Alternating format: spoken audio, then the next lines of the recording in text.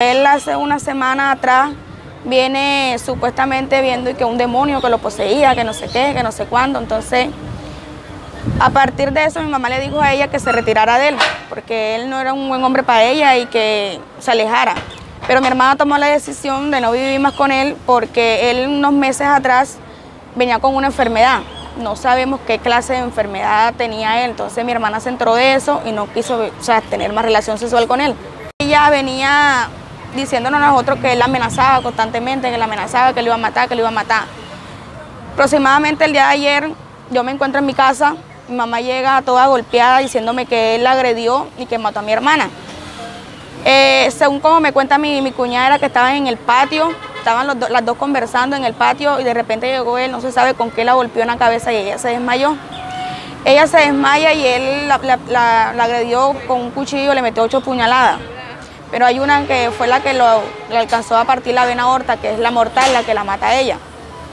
Eh, mi, cuñada a ver las cosas sale corriendo con sus dos niños, un niño de 6 años, un niño de 7 años, y él corre atrás de ella y también la agreden.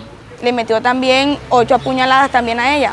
A los niños los correteó también para hacerle daño, pero los niños alcanzaron a meterse abajo de una cama y él salió corriendo.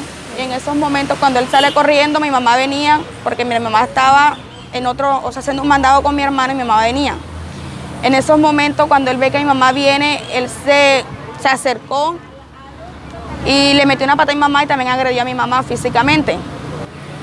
¿Es totalmente falso de que ella lo contagió a él? Pues eso tenemos que comprobarlo, porque eso no podemos decir que sí, que no, porque en realidad yo no te sabré decir eso. Pero yo sí sé que es falso porque mi hermana no estaba, estaba enferma.